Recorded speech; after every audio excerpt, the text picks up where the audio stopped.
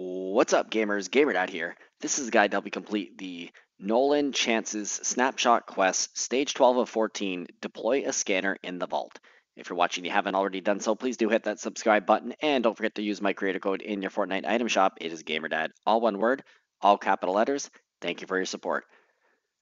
So, by this point, you should have followed my other videos. You've landed at one of these three locations, and you've gone into the um, main building of the stronghold and you're going after the vault. So first off, you fight the either Kado or one of the um, the dealers, the Hearts dealer, for example, if you're at Relentless Retreat. Once you defeat um, Heartless Dealer, you'll take the vault card. So here he is. Defeat him. Take the vault card.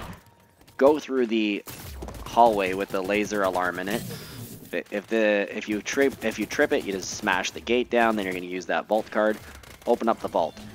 And now, of course, I then recommended that you go and open up four chests in here as part of the next sequence of the um, the challenges here.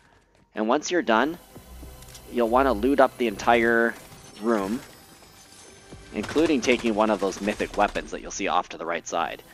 But once the fourth chest is open, whether it's in here or not, then you'll be able to deploy the scanner. It'll appear in the middle of the room. You can walk up to it, interact with it, and you will simply deploy the scanner. So I just wanted to get a little bit more of this here. Didn't know if anyone was going to try to show up while I was in here. And just even in case somebody did show up, I'm going to just build myself that one wall so they can't fire at me. There's those mythic weapons, by the way, that you can take there. And here we go. Interact with this in the scanner will be deployed and just get your mythic weapon.